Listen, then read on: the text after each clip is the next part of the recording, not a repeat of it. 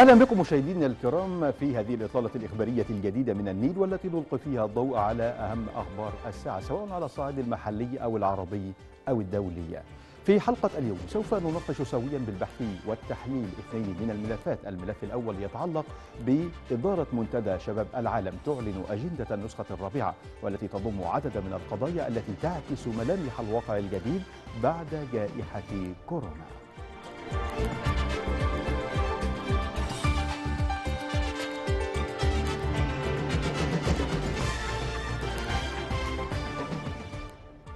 أما الملف الثاني فقداسة البابا توادرس الثاني بابا الإسكندرية وبطريرك الكرازة المرقصية يرأس مساء اليوم قداس عيد الميلاد المجيد.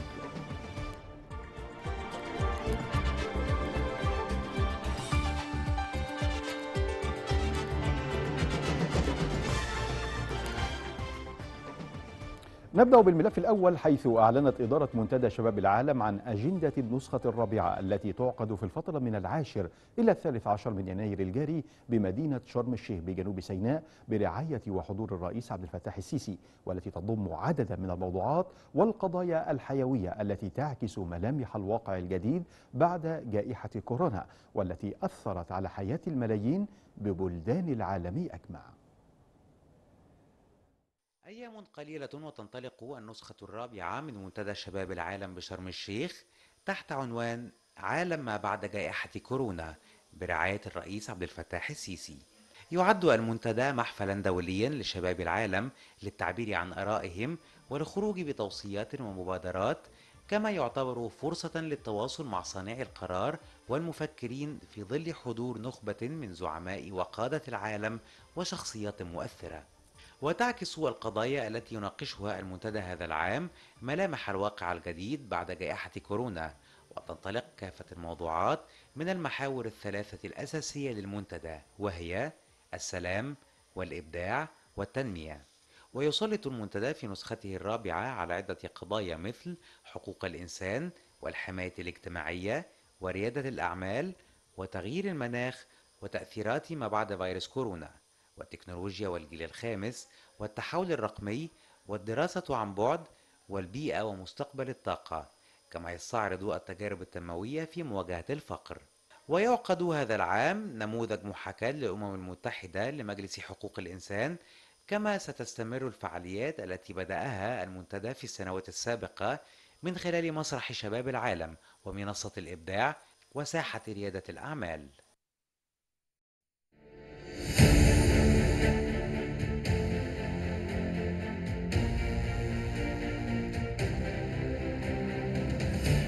استمعوا إلى شبابكم. املأوا قلوبهم بالأمل والحرية. افتحوا لهم أبواب الثقة وأعطوهم مفاتيح القيادة. فلا حاضر بدونهم ولا مستقبل بغيرهم. منتدى شباب العالم تحت رعاية السيد الرئيس عبد الفتاح السيسي رئيس الجمهورية شرم الشيخ من 10 إلى 13 يناير 2022 لمزيد من التفاصيل حول هذا الموضوع ينضم إلي هاتفيا الأستاذ أكرم القصاص رئيس تحرير جريدة اليوم السابع. أستاذ أكرم لو تحدثنا في البداية كيف ترون هذه الأجندة التي تم الإعلان عنها بالنسبة لمنتدى شباب العالم؟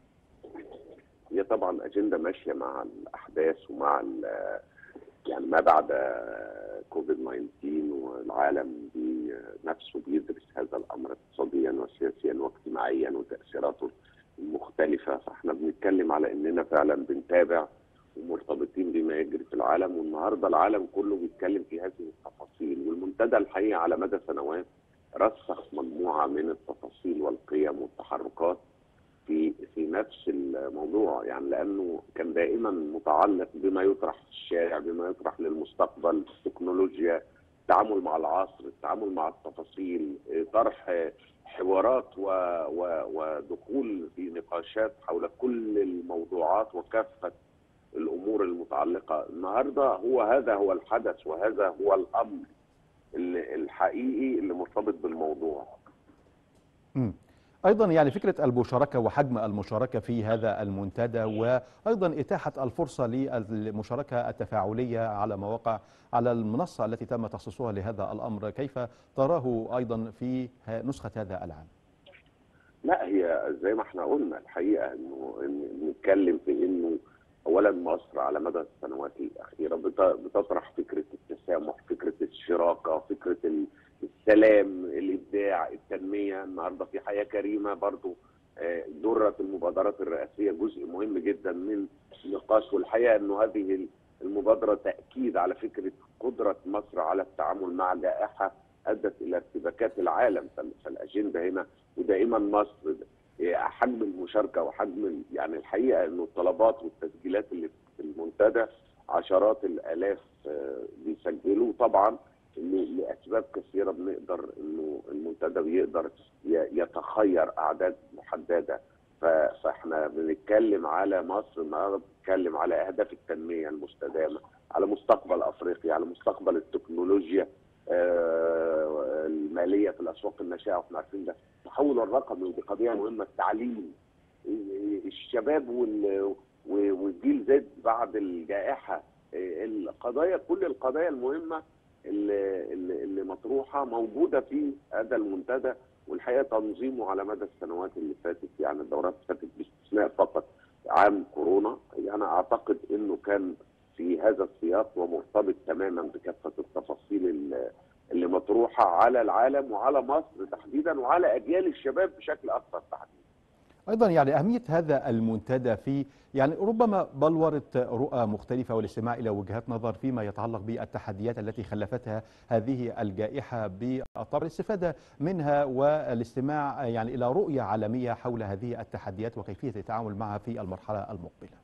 بالظبط يعني الحقيقة إن زي ما قلنا إن العالم كله مهتم اولا فكرة ال- على مدى السنوات الأخيرة كان منتدى الشباب ده آه، مهم جدا لأنه بيطرح أفكار وبيطرح نقاش والرئيس عبد الفتاح السيسي والدولة المصرية منفتحة في هذا الأمر بتتلقى الأفكار وكثير من هذه الأفكار وجدت طريقها للتنفيذ في نماذج مضيئة جدا ونماذج مبدعة بتظهر بتجد فرصتها لأنه المنتدى فرصة عظيمة إنه ده وال- والحقيقة إنه الرئيس أو المنتدى لا يتأخروا ابدا عن التقاط. كل إشارة أو كل موهبة أو كل إبداع ودعوته وانه يعرض نفسه وانه يبقى موجود ده بي بيوفر وقت وجهد كتير جدا لكثير من الشباب في إنهم ينفذوا أفكارهم. ما بعد الجائحه العالم كله مشغول بيها وزي ما قلنا مصر عندها تجربة نعم. مهمة محتاجين نقراها ونتابعها ونناقشها.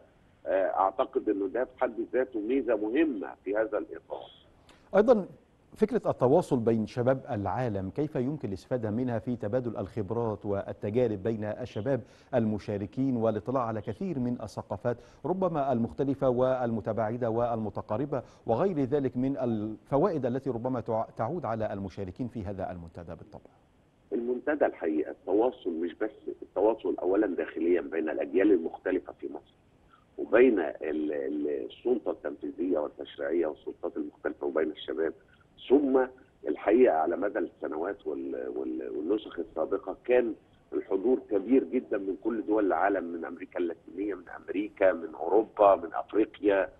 ده بيعمل حوارات بيعمل تعارف بيكسر حواجز كثيرة. بيفتح الباب لأنه تبادل الخبرات وتبادل الرؤى وتبادل النقاشات. آه، ده منتدى يعني لا يقل عن كثير من الفعاليات العالمية اللي اللي, اللي بتفتح الباب وأظن إنه مصر متميزة جدا ولا يوجد مثل هذه النسخ أو هذه الفعاليات بهذا الشكل في في دول العالم. إحنا بنتكلم على إنه عادة المنتديات الكثيرة الاقتصادية أو السياسية أو غيره زي ديفوس أو غيره بتبقى مقتصرة على القيادات على السلطة على السلطات التنفيذية وغيره. لكن أو رجال الأعمال والشركات النهارده هذا المنتدى بيجمع شباب وبيجمع آه، تمثيل دولي لشباب ومواطنين آه، في في في عمر مهم بيتداخلوا ويتبادلوا الرؤى والحوارات. فأنا أظن إن إحنا بنتكلم على حدث غير مسبوق وحدث وحدث مهم لأنه بيعكس آه، يعني أهمية خاصة وبيعكس شكل خاص ما ظنوا ما اظنش موجود وأظن إنه انعكاس ده حتى دوليا المنظمات الدولية والمؤسسات الدولية أصبحت بتهتم بده وبعض الدول بتفكر في إعادة هذه أو نقل هذه التجارب بشكل آخر. أيضا يعني ربما هناك زاوية أخرى وهي مدى استفادة الشباب من هذا المنتدى في فقط مهارتين من خلال نماذج المحاكاة ربما التي تجري داخل هذا المنتدى وبالتالي تأهيل جيل واعي وقادر على مواجهة التحديات المختلفة وربما تأهيل صف ثاني من القيادات والاطلاع على كثير من القضايا. يعني أهمية هذا الأمر أيضا من خلال هذه المنتديات والتواصل المباشر مع قيادات ومسؤولي الدولة. دي نقطة مهمة جدا لأنه الحقيقة أن الدولة المصرية في عهد الرئيس عبد طرحت البرنامج الرئاسي والبرامج المختلفة للتدريب و... و... ومكنت الشباب من أنهم يتولوا نواب محافظين ونواب وزراء و... وفي قيادات مختلفة.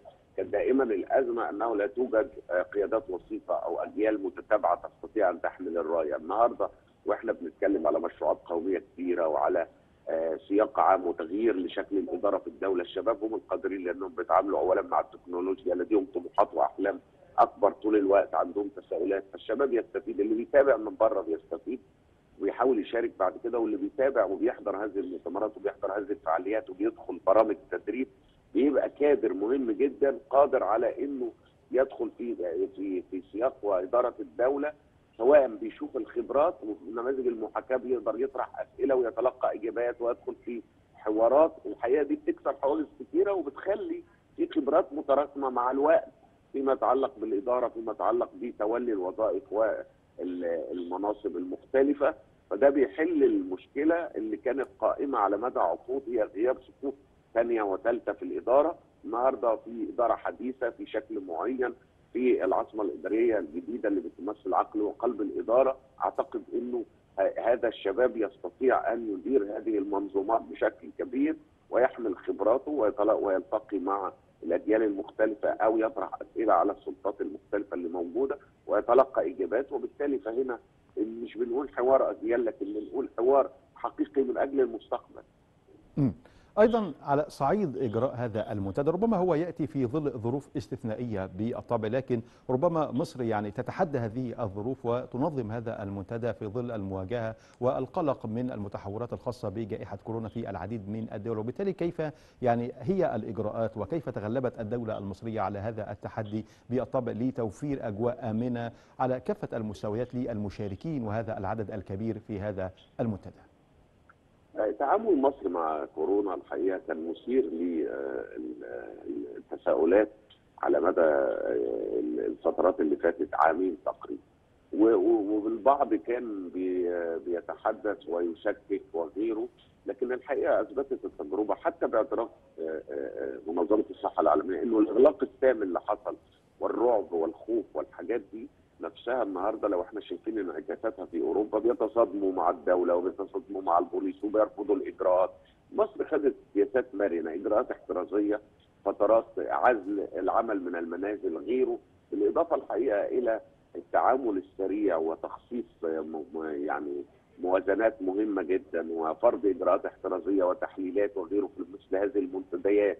الحقيقة إنه النظام الطريقة المرنة هي اللي اثبتت نجاحها بشكل كبير واولا مصر استمرت في أعمالها في مشروعاتها بدرجة كبيرة.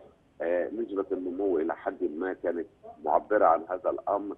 العمل لم يتوقف بشكل كبير مع الإجراءات الاحترازية طبيا وصحيا تم التعامل مع تخصيص البروتوكولات العلاج المستشفيات وجود يعني نصائح وتوجيهات طوال الوقت. للتعامل مع هذه الجائحة. كل ده في النهاية أنتج نموذج مرن للتعامل لا إغلاق كامل ولا فتح كامل مع إجراءات احترازية. ولاحظ إنه الإغلاق الكامل أدى إلى مشكلات نفسية ومشكلات اجتماعية. في بعض المجتمعات إحنا بنشوفها النهارده في صدمات وفي غيره فالنهاردة إلى حد كبير الدولة المصرية نجحت في التعامل بدرجة ما. وحتى لما بنتكلم على الأرقام أو على غيره. أعتقد إنه مصر تعتبر في أقل من المتوسط فيما يتعلق بالإصابات والوفيات مقارنة بدول كبرى أو دول لها أنظمة صحية ربما تكون أكثر تطورا النهارده يعني في تفاصيل كثيرة ظاهرة في التعامل مع ده أعتقد إنها عاكسة لفكرة نجاح نسبي ومطلق فيما يتعلق بالتعامل مع الجائحة. أيضا أستاذ أكرم لو تحدثنا عن نظرة الآخر إلى الدولة المصرية الآن في ظل هذه المنتديات والرسائل التي تخرج منها بالطبع وفي ظل النهضة التنموية الشاملة آه، التي تقوم بها القيادة السياسية كيف ترى هذا الأمر في هذه الفترة؟ وكيف يمكن التسويق والترويج للمقومات أيضا التي تتمتع بها الدولة المصرية من خلال هذه المنتديات؟ خلينا نقول إن المنتديات دي وكثير من الفعاليات اللي حصلت في مصر خلال الفترة اللي فاتت تساهم في هذا الأمر إنه طبيعي إحنا في وقت عولمة في تواصل أدوات تواصل واتصال فيها كثافة في النشر في تعامل كثيف في العالم من المهم إنه العالم يبقى حابب يعرف اللي إحنا بيجرى عندنا وإحنا بنسعى إلى إننا نعرف اللي بيجرى عندنا. المنتدى ده فرصة لإنه أي حد بيجي هنا ينقل الصورة كما يراها والتعامل كما يراه والحوارات كما يشارك فيه. وبالتالي فده جزء مهم زي ما إحنا شفنا فعاليات طريق الكباش أو موكب المومياوات أو غيره إزاي كانت انعكاس وترويج سياحي مباشر وغير مباشر للدولة المصرية. على اعتبار إنه مصر ما عندهاش ما تخفيه مصر طول الوقت منفتحة. الرئيس عبد الفتاح السيسي بيدخل في حوارات مباشرة. ربما هذا الأمر بت- بتثبت ما نحن بصدده لأن إحنا مش محتاجين. إحنا بن...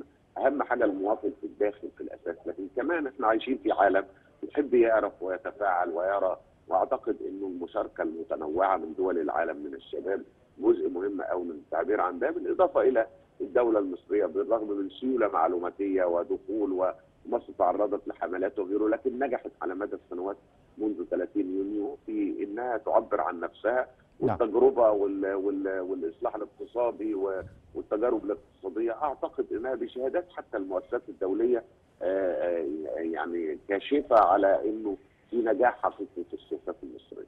بشكرك الأستاذ أكرم القصاص رئيس تحرير جريدة اليوم السابع.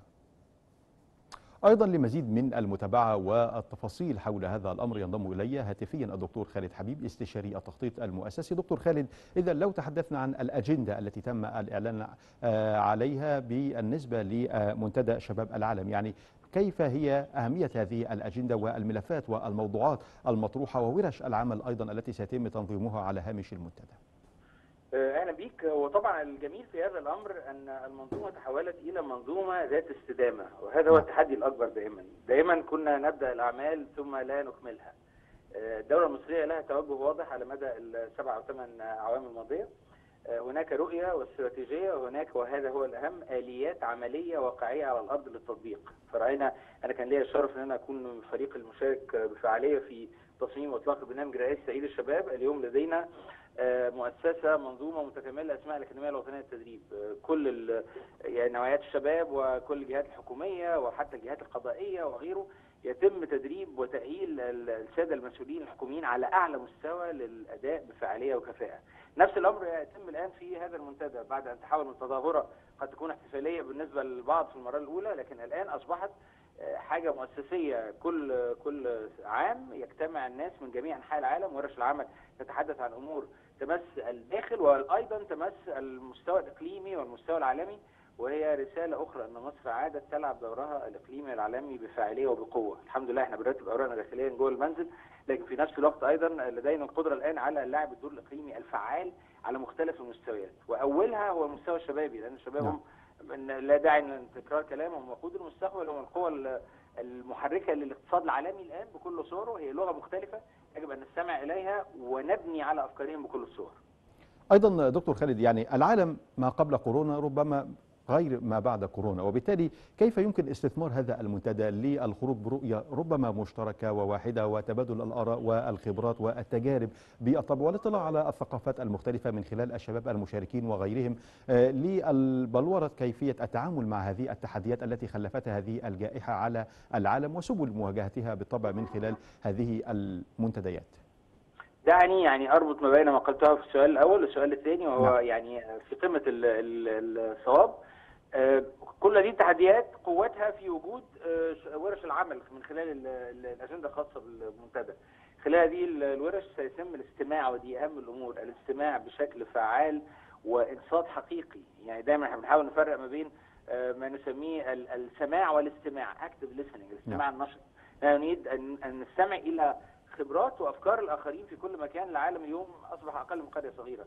وأي تجربة نجاح في أي مكان يتم يتم الاستفادة بها في الوطن. وعلى فكرة في كم من الشباب المصري يقدم أفكار عبقرية وتم يعني تنفيذ مشروعات فعلية في مجالات مختلفة منها تحديدا ما بعد الكورونا كل ما يتعلق باللوجستيات وموضوعات النقل والتوزيع وهكذا أصبحت من أكبر ال- الأنشطة ومجالات التجارة العالمية الآن مصر تلعب دور متفوق جدا في هذا الأمر والشركات المصريه تحولت إلى شركات مع عالمية في هذا الأمر تحديدا. اذا نحن على الطريق الصحيح الأهم من ذلك إننا هذه التظاهرة العالمية نستمع فيها لشباب وإلى أفكار من كل مكان في العالم واعتقادي أن جزء من هذه الآلية هو الانتهاء إلى ما يسميه آه، يعني action items اللي هو آه، خطوات عمل فعالية يتم تطبيقها ما بعد إن شاء الله.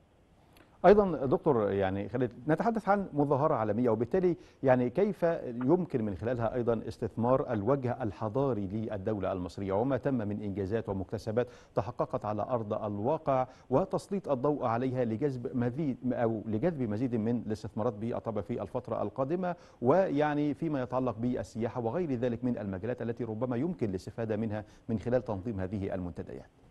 يعني حضرتك لمست نقطة في غاية الأهمية كان ليا الشرف منذ شهر أن أزور ال- الجناح المصري في إكسبو 2020 في الإمارات نعم. بدعوة كريمة من معالي وزيرة وزير الصناعة والتجارة آه، الأستاذة نبيل جامع آه، يعني المنظر مبهر والإمكانيات عالية للغاية والجناح معد بما يسمح بالتفاوض من بدءا من يعني عرض لكل إمكانيات المنظومة المصرية واحتمالات الاستثمار ورؤيه 2030 غيره وصولا إلى التفاوض الفردي ما بين شركات مصرية وعالمية على مشروعات والحكومة المصرية مع شركات أجنبية.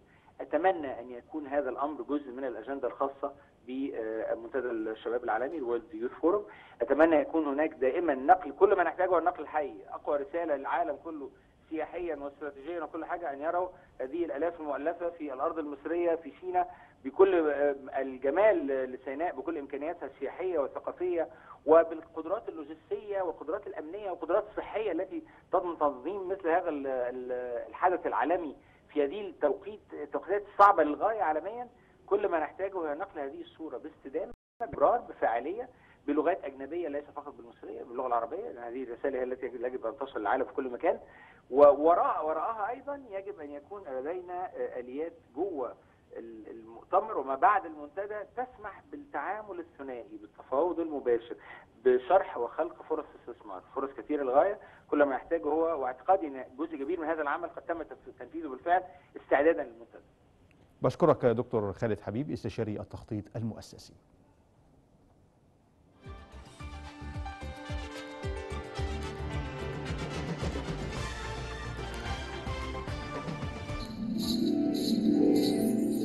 خلي بالكم أنتم أهلنا وأنتم مننا وإحنا واحد محدش ابدا ابدا. هيقدر يقسمنا محدش يقدر يقسمنا. ليلة عيد ليلة عيد الليلة ليلة عيد. زينة وناس.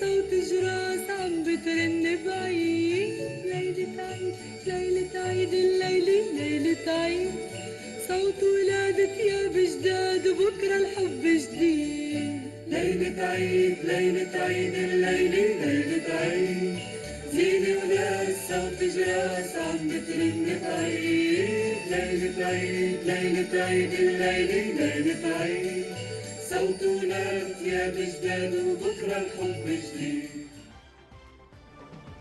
ننتقل مشاهدينا الكرام إلى الملف الثاني وبداية كل عام والإخوة المسيحيين بخير وسلام بالطبع. تحتفل الكنيسة الأرثوذكسية مساء اليوم بعيد الميلاد المجيد وسط إجراءات احترازية مشددة. يترأس قداسة البابا توادرس الثاني بابا الإسكندرية بطريرك الكرازة المرقسية قداس عيد الميلاد بالعاصمة الإدارية الجديدة وسط حضور رسمي وشعبي كبير. هذا وقد هنأ رئيس مجلس الوزراء الدكتور مصطفى مدبولي قداسة البابا توادرس الثاني بابا الإسكندرية بطريرك الكرازة المرقسية بمناسبة عيد الميلاد المجيد. وكان الدكتور مصطفى مدبولي رئيس مجلس الوزراء قد قام بزيارة للبابا توادرس الثاني بمقر الكاتدرائية المرقسية في منطقة العباسية بالقاهرة.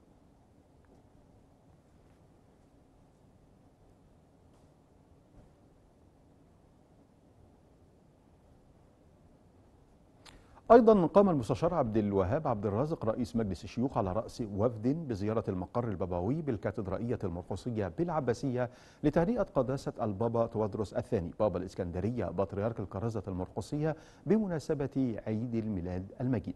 تقدم المستشار عبد الرازق إلى قداسة البابا والإخوة الأقباط باسمه وباسم أعضاء مجلس الشيوخ بخالص التهنئة القلبية معربا عن أمله في أن تكون الأعياد فرصة لنشر الحب والسلام على الأرض وتأكيدا لصلاة الترابط والأخوة بين جميع أبناء الوطن الواحد.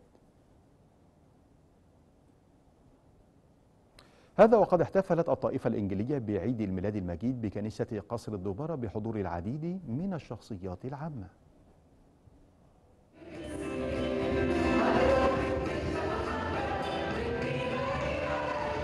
من كنيسة قصر الدبارة بالتحرير انطلقت احتفالات عيد الميلاد المجيد برئاسة رئيس الطائفة الإنجيلية الدكتور القصة أندري زكي الذي وجه خلال كلمته الشكر للرئيس عبد الفتاح السيسي على التهنئة بالعيد مؤكدا على اهتمام الرئيس بحقوق الإنسان في عيشة كريمة. كما حضر الاحتفال عدد من المسؤولين والوزراء. يحتفلوا مع الإخوة المسيحيين بأعيادهم وده يعني شيء إحنا بنشوفه ونلحظه زي ما برضه في أعياد المسلمين بنلاقي يعني يعني جميع الطوائف هي المسيحية بتقدم التهنئة بكل محبة لإخوانهم المسيحيين ويعني يا رب مصر دايما كده في حب وسلام. ذكرى ميلاد السيد المسيح هي ذكرى لا تخص المسيحيين فقط هي تخص الإنسانية جميعا لأنه جاء بالمحبة وجاء بالسلام وجاء لكي ينعم الهدوء والسكينة للعالم أجمع الاحتفال بعيد الميلاد المجيد مناسبة أكد فيها المشاركون على أهمية الترابط بين أبناء الشعب الواحد وأنه لا فرق بين المصريين في مناسبتهم التي تؤكد إعلاء قيم التسامح والمحبة. ونحن في بلد واحد وشعب واحد وأرض واحدة آه، نحيا في هذا السلام وهذا الأمن آه، في ظل الجمهورية الجديدة وفي ظل العهد الجديد. آه، طبعا يعني بنقدم التهاني لأننا في الأصل واحد وفي أصل الإنسانية واحد. نعيش في جو مشترك في سماء وأرض واحدة. نيابة عن فضيلة الإمام الأكبر الأستاذ الدكتور أحمد الطيب لتقديم التهنئة للطائفة الإنجيلية آه، في مصر والقس أندريا ذكي آه، وما يتمتع به من شخصية طيبة. بنقول لهم كل سنة وأنتم طيبين.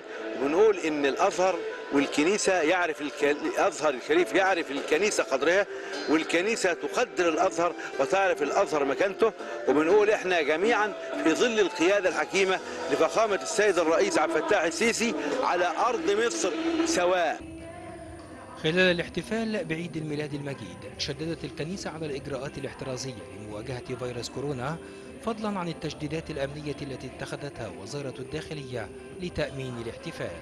وسط إجراءات احترازية كبيرة انطلقت احتفالات عيد الميلاد المجيد للطائفة الإنجيلية في مصر بحضور عدد كبير من المسؤولين والوزراء ليبرز ذلك التلاحم بين أبناء الشعب المصري في مختلف مناسباته كل عام وأنتم بخير. رمضان المطعمي النيل. هذا وقد أكد المركز الإعلامي لمجلس الوزراء أن الدولة لا تدخر جهدا لترسيخ دعائم المواطنة والوحدة وقيم التسامح والانتماء وقبول الآخر والتعايش المشترك وهو ما تجسد في الحرص على دعم حقوق أبناء الوطن من المسيحيين على مختلف الأصعدة بلا تفرقة أو تمييز. جاء ذلك في تقرير نشره المركز الإعلامي. يتضمن إنفوجرافات تسلط الضوء على إصدار قانون تنظيم بناء وترميم الكنائس الذي تم بموجبه ورصد التقرير جهود توفيق وتقنين أوضاع الكنائس المصرية حيث تم إصدار 22 قرارا من قبل أو من قبل اللجنة المعنية وذلك منذ مايو 2018 وحتى يناير 2022 بإجمالي 2162 كنيسة ومبنى تابعا بواقع 1186 كنيسة و976 أو 76 مبنى.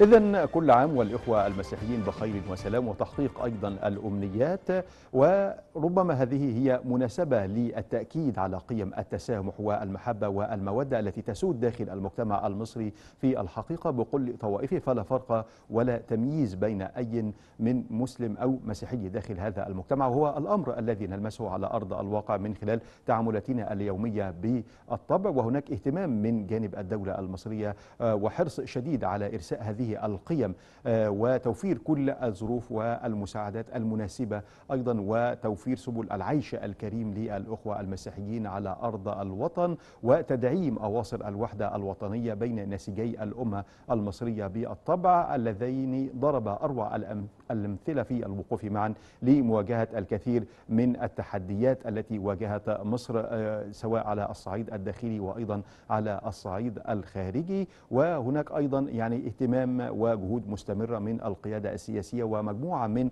الرسائل التي تبعث بها القيادة السياسية دائما للتأكيد على هذا الأمر أن أبناء مصر هم يد واحدة وفي رباط آه، بالطبع في مواجهة الكثير من التحديات. وبعض أو ومحاولة البعض نشر بعض المفاهيم المغلوطة وغير ذلك من الأمور التي سمعنا عنها لكن آه، يعني يبقى الشعب المصري بالطبع بقطبي مسيحيين ومسلمين في وحدة دائمة بالطبع وهناك حرص على إرساء دولة المواطنة وإرساء دعائم هذا المفهوم داخل المجتمع المصري وهو أيضا ما نلمسه من خلال المؤسسات الدينية سواء الأزهر الشريف الكنيسة. هناك بيت للعائلة آه، يتعامل مع كثير من القضايا داخل المجتمع المصري. هناك وثيقة للأخوة الإنسانية للحوار مع الآخر والتعرف على كثير من القضايا والتحديات التي تواجه الأمة المصرية وأيضا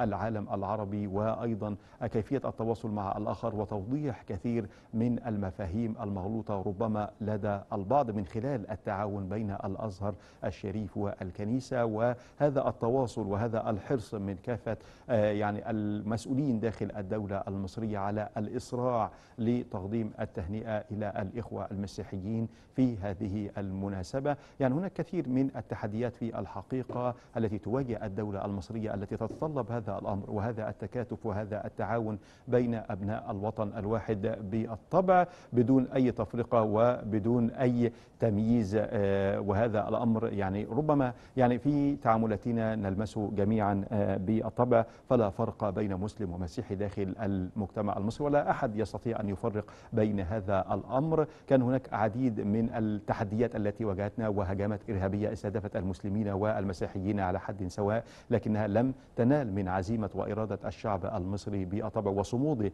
في وجه هذه التحديات وضرب أربع أروع الأمثلة وهو الأمر الذي أشادت به يعني الكثير من التقارير الدولية ولجان الحريات في بعض الدول بهذا الأمر. وأيضا يعني كان هناك إشادة من جانب بعض المسؤولين الذين اطلعوا على التجربة المصرية وحرص الدولة المصرية على بناء الكنائس في المدن الجديدة. وأيضا ما تم في العاصمة الإدارية الجديدة يعني من أكبر كنيسة وغير ذلك من الجهود. هذه كانت هي ملفات اليوم يتجدد اللقاء وملفات جديدة ومتجددة في هذه الإطلالة الإخبارية من النيل مباشر كل عام وأنتم بخير وإلى اللقاء.